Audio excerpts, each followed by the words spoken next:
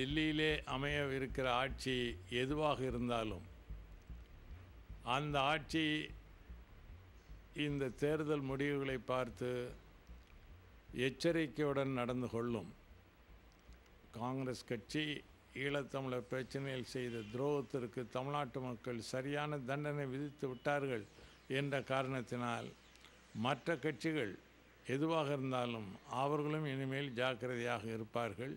ஆகவே அதை பற்றி கவலை வேண்டியதில்லை. காங்கிரஸ் ஒருபோதும் டெல்லியில் மீண்டும் வரப்போவதில்லை.